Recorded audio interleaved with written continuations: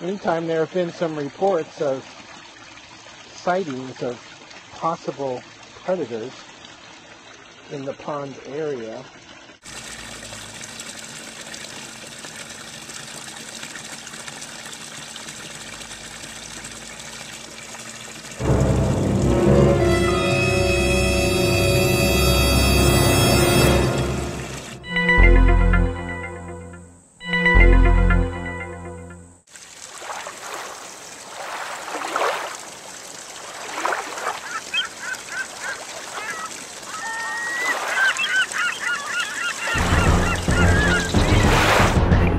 Hey,